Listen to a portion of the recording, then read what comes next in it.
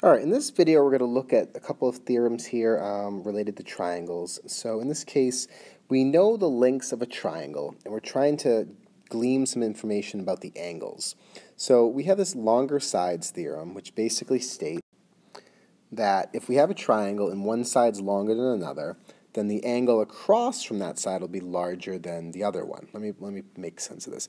Our longest side here is 25. That's the longest part of the triangle. The angle across from this side is angle C. And so what that means is that angle C is the largest angle of all of these. Our next largest side is 20, and 20 is across from angle B. So angle B is the next largest, and then across from 8 is angle A, so angle A is the smallest. So, and you can look at this, this makes sense. Look at the angle of C, it's much larger than angle A and this is just the relationship, the longer sides theorem. Now, as far as telling which angle is across from each other, so angle C, what you say is these are the two sides that make up angle C, so it's the third side that's across from it, if you're having trouble figuring that out.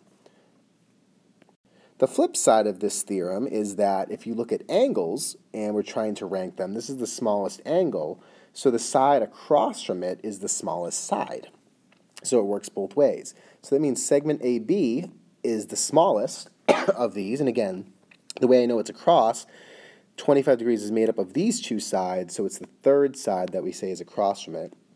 The next is 70 degrees, so segment BC is across from that, and 85 degrees, segment AC is across from that. And this, you know, you can't really go by looks in most geometry problems, but in this case you can kind of see that. Again, yeah, the one with the bigger angle is going to be the largest side across from it. And that is just how we use the longer sides or larger angles theorem. And that's it. So until next time, I am Derek Genova. Have a delightful day.